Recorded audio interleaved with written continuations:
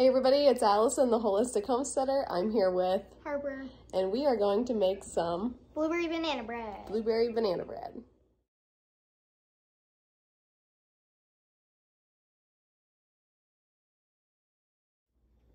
So the first step in our banana bread is getting out two bread bread pans and spraying them with nonstick spray. I just have some avocado oil. You can also use butter. So that is the first step. Second step is to preheat your oven to 350 degrees Fahrenheit.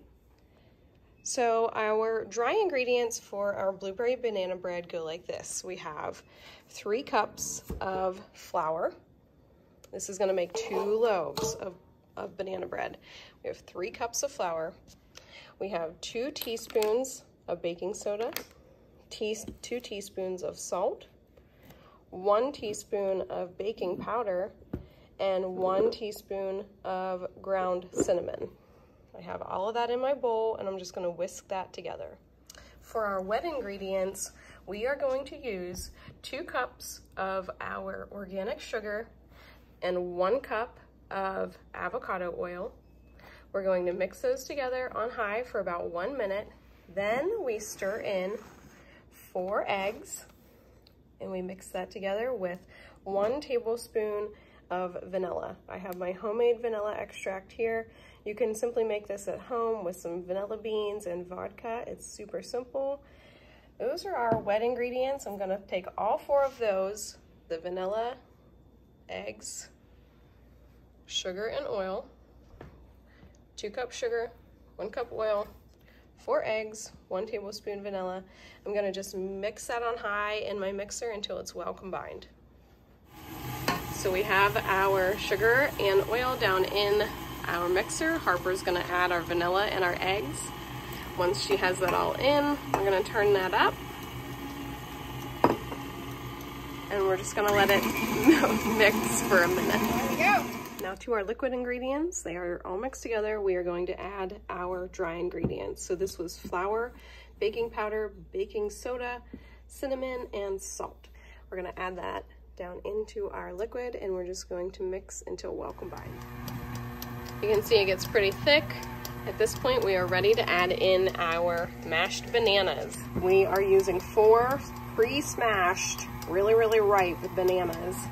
We added our bananas down into our dry and wet ingredients. We're just gonna turn this on low and let everything mix together really well.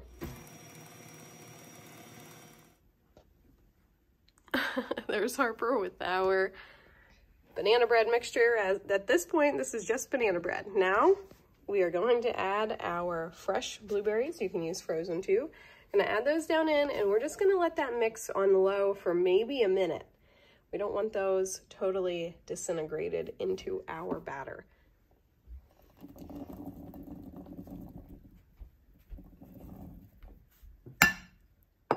All right, there are our blueberries. We're going to turn this on to low and just let it mix for about a minute, maybe a little less, just until they're all well incorporated. Here's our batter. Now we're just going to separate it between our two bread pans. Our blueberry banana bread is ready to go into our oven. It's preheated to 350 degrees. We're going to put it in here for about 55 minutes and we will check it with a toothpick and see if it's done. So the timer just went off on my bread. We have two loaves of blueberry banana bread and two loaves of regular banana bread. I have a couple of toothpicks sitting out here. I'm just gonna take a toothpick and I'm just gonna check the center. I can see already, this is definitely not done. You can see that it's still very, very moist in there. Same with this one. This one's closer. I would say we have probably five more minutes yet on these, these breads here. So I'm gonna put them back in the oven for about five more minutes. So our breads have been in for another five minutes.